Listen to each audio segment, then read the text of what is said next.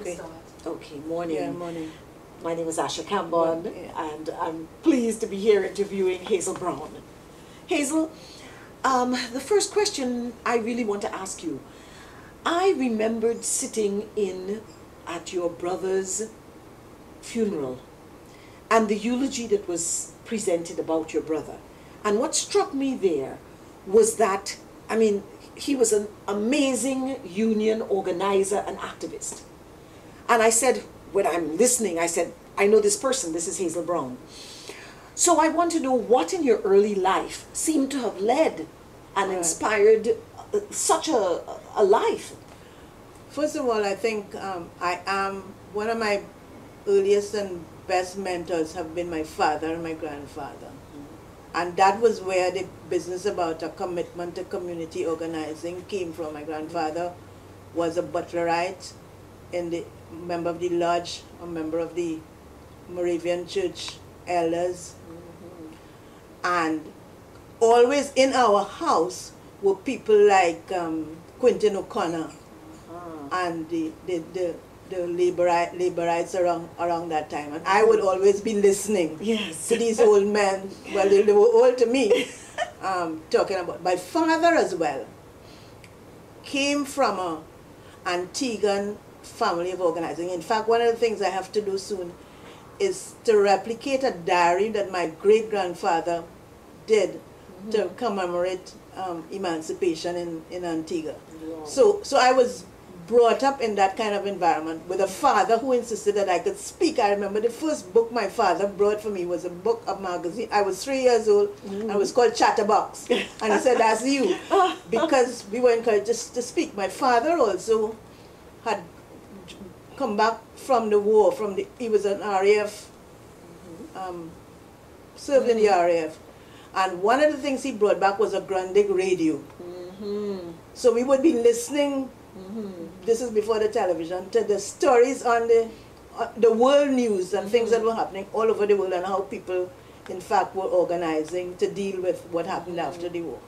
So that all of that is in my head. Yes, of course. Of course, the other thing that brought me to um, a, a political awareness was when I was 10 years old, I won a government exhibition. I was the first child from Gloucester Lodge, Moravian to have sat the exam and, won, and, and got the exhibition. At that time, the government paid for 100 children in Trinidad and Tobago.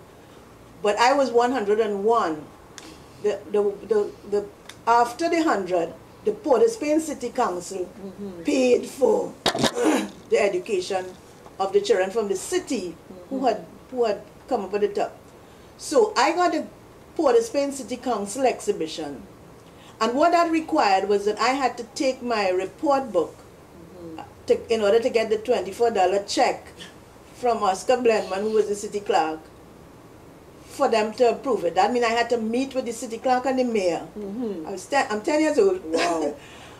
and, and I used to go to council meetings. Mm-hmm. So I knew about what was happening in Port of Spain from a political point of view since I was 10 years old. Wow, wow. Hmm, amazing, amazing.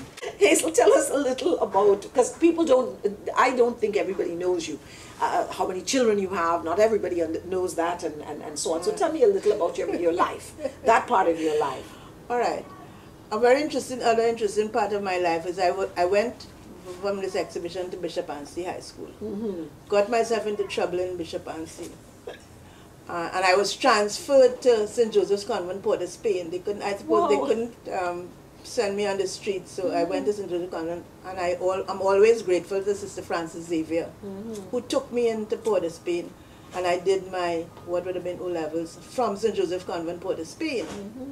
And then, because I didn't get the results that Francis Xavier thought I should have got, and by which time she was in San Fernando, mm-hmm. and my father was living in Point Fortin, mm-hmm. and I, me and my mother fell out, so I went to live with him in Point Fortin and went to school and did my A levels mm-hmm. in St. Joseph Convent, San Fernando.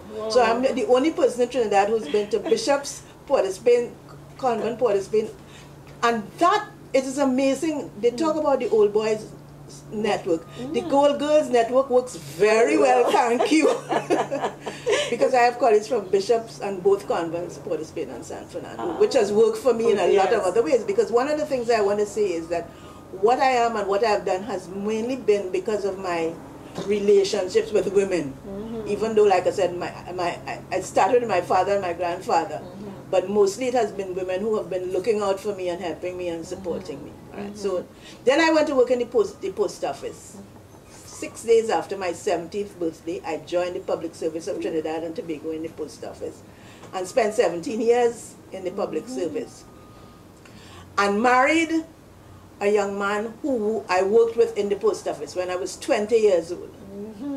So that by the time I was 24, I had three children. Um, and was a housewife living in Diamond Vale, planting my lawn grass and roses. um, because my activism really didn't start until I got into Diamond Vale, into a new community, and realized that if we were going to make this into the kind of community we wanted, there was things that had to, to be done. So we had a Diamond Vale Residents Association, of which I was a part. And what would happen is that when new residents came in, because there were about 500 households, houses that had been built, I would go and meet them and introduce them and say, this is how we want to organize ourselves in this new community. And I think that is responsible for Diamond Vale being what it is, mm-hmm. that we started off very early, mm-hmm. setting the standards about how we would organize our community for the benefit of ourselves mm-hmm. and our children. So we were talking about your children and your. So exactly, how, uh, you have one boy. Yes, I, my, uh, my first one is, is a girl, and then my son, and then the third one who is Carla, yes. Okay, so you have two girls and one boy. Well, up to that time, I up to that time I had the three, Yes, that's right. That's right. and Then then you- later we had, we had a fourth. the breastfeeding baby. Just before we go to, to that, I'd, I'd like to ask you mentioned something about all these women who have helped um, shape your life. And, you know, a lot of people, uh, like even my husband, remembers your mother. Yes. He says, boy, Mrs. Brown was something else. That's Ma right. Brown was Ma- something yes, else. yes, right. So uh, tell me something about these women She who've was- influenced your she- life, My mother your was, mother. I always think, think of her as, compared to my father and grandfather, very conservative, right? Mm-hmm. Stay out of trouble, you know. But she was uh, herself involved in community work, in, especially in campaigning for elections, which was the other Mm-hmm. Um, thing that I noticed. My mother also worked for a time with as a secretary of a friendly society, um, because that was the kind of Mm-hmm. environment in which we in which we grew up. But uh, from from the political side, I don't think she was as um, revolutionary as my father and grandfather. My grandfather were. The other thing about growing up in East, and I was growing up in East Dry River, and I was important Belgrade and Barcelona Street. Mm-hmm. And I always tell people the three most famous people from Belgrade and Barcelona Street was Geddes Granger, Dr. Rat, and I. the three of us Yes. were, were coexisting in that wow, wow. and were named in that community. All right. Yes. But also we were living in a community where people, especially women, looked out for the children, mm-hmm. right? So, for example, people like Morris Marshall's mother, mm-hmm. I had to go past her house and, and, and, and she would take care of me and the craziness that I would be doing. And other women along the street mm-hmm. like her, I know I had to go past their house, so I better, Straighten up. right. Otherwise, I'd have to deal with my mother when I get home.